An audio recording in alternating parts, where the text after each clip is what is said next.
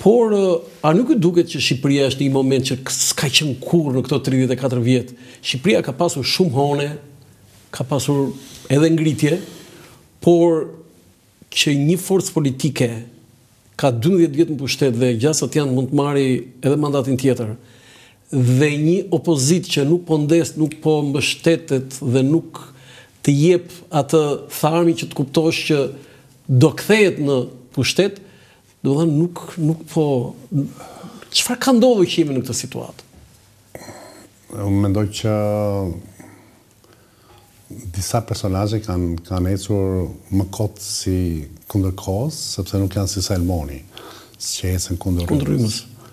Po themi, ti më bëre shumë pyetje në një pyetje, do të mundohem t'i zbërthej. Unë kam patur fatin në jetën time që dy personazhet kryesore antagoniste që janë akoma dhe sot, pas 34 vjetësh pra Sali Berisha dhe Edi Rama, dhe i kam njohur nga afër, i kam njohur përpara se sa të ishin këta që janë sot, pra përpara se sa të merreshin me politikë.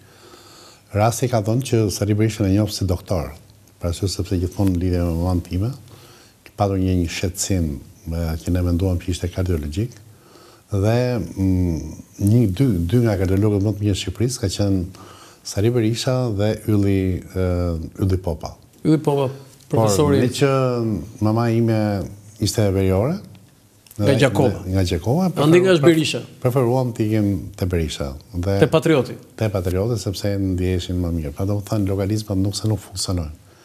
Dhe na priti në shpinë e tij modeste. Në cilin vit?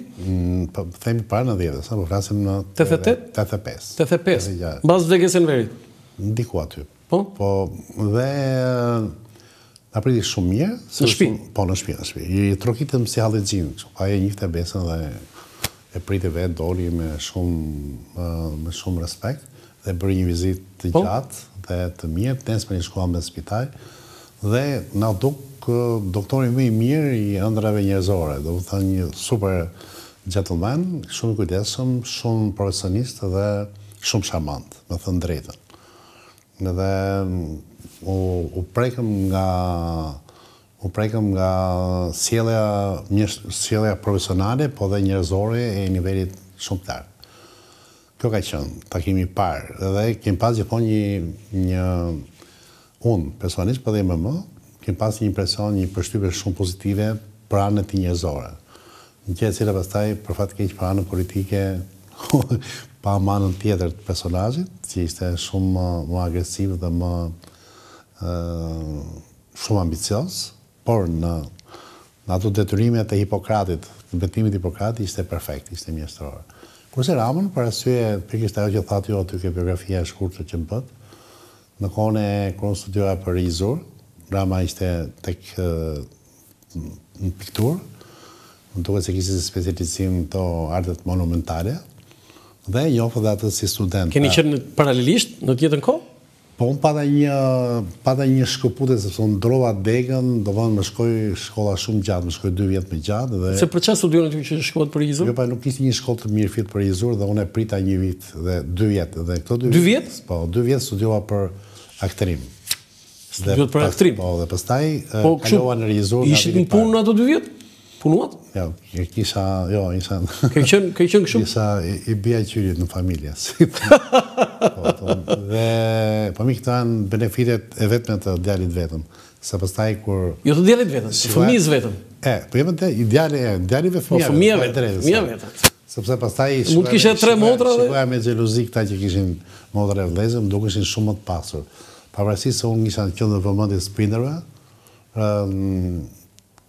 Mungesa e vëllezërit, vëllait apo e motrës, ose e vëllazërisë ose këto. E ke ndier? E kam ndier shumë, sigurisht. Ndjesha shumë, megjithatë, kaloi. Po Por dhe... shumë njerëz i kam dashur, i kam i kam bërë shumë shumë shokë. Edhe shumë shoqe, i kam bërë si i kam dhënë dhe një pjesë të munguar të dashurisë për vllanë apo për motrën. Për, për motrën. Dhe më kanë abuzuar për këtë gjë, sepse i kam dhënë shumë më tepër se ç'kam marrë. Do të do të pyes për këtë, po ishim te Rama dhe te Berisha.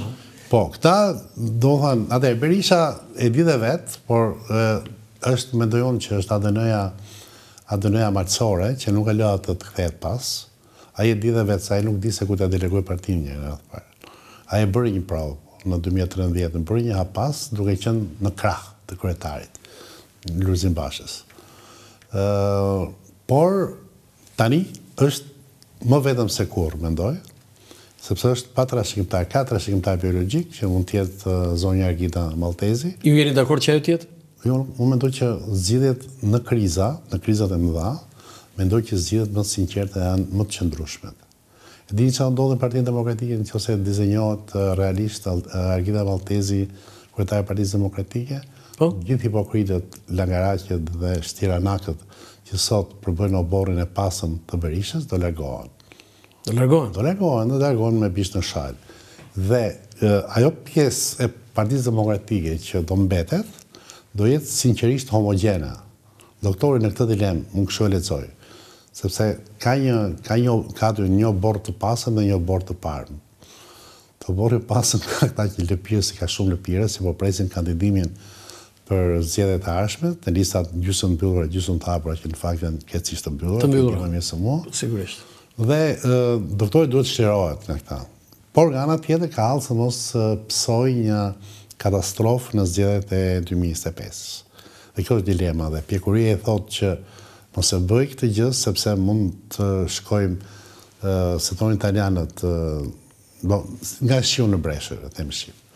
Pra Dhe kjo dilemë, por në qoftë se ai do të kishte forcën mbas foltores të bënte një operacion kirurgjikal të thellë, duke bërë prapë një hap mbrapa, mund ta shpëtonte. Pse s'e ka bërë këtë? Sipas jush, ju e njihni shumë mirë, pse s'e ka bërë? Shiko, njerëzit mbeten, sidomos politikanët, mbeten peng të natyrës tyre që i ka sjellë deri aty. Për shembull, shumë kush ka humbur bastin kur tha dhe besoi që foltorja do do shkonte do përshkallëzohej deri në majën e partisë. Ju e keni, mbani mend sulmin e tetë janarit që u bë Partisë Demokratike? Me hunj. Po, sulm luftë civile dhe erdhi një një prokurore që shyqyr edhe që iku, një Elizabeta, Elizabeta, dhe bëri një ekzaminim tre ditë, dhe nuk gjeti asnjë shkelje aty. Domethënë këtu, në mes të Tiranës, u bë një luftë pothuajse civile mes dy klaneve brenda Partisë Demokratike, me hunj, me gjysëm gazi, me kështu, me çdo lloj gjë, dhe nuk u pa asnjë krim. Domethënë, nuk u gjet asnjë provë. Këtë prokurorie, domethënë shyqyr që iku ajo zonjë, sepse ajo, domethënë, Ne pritëm, aty kishte 10, 20, 30, 40 shkelje të rënda. Domethënë unë më jepet e drejta si me thënë duke duke duke mbajtur atë precedent, sigurisht që nuk na e zbaton mua dhe ty njeri, që ne të hymë tek shpia e një familjari me hu, me çekiç, me të gjitha ta thyejmë, ta bëjmë, ta plagosim njëri-tjetrin, Sepse po, sepse kemi pretendime mbi të njëjtën pronë, më kupton? Dhe të vijë prokuroria policia të thonë meqenëse janë janë janë brenda brenda llojit, t'i lëmë. Më kupton? Qartë. Pra, Berisha nuk di të bëjë nuk di të të bëjë politikë përveçse me sulm. Dhe historia e tij s'di, i ka dhënë të drejtë. Ai me sulm i ka bërë të gjitha. Domethënë me sulm dhe me akt force. Nuk është në, në fakt, në, është edhe një kulturë malësore që malësorët nuk janë elastikë siç është Shqipëria e Mesme apo e Jugore. Nuk e njofin shumë, kanë një kanë unë shikoj ke nëna ime këtë. Po ju ku jeni, se nëna nga Gjakova, babai nga Gjirokastra, ku je? Je në mes? Jo, babai im megjithëse ishte nga Gjirokastra ishte një admirues i veriorëve, me thënë të drejtën, është e çuditshme. Kishte një adhurim se do thoshte që. Ai patjetër do kishte adhurim se Jo, jo dhe për gruan e tij.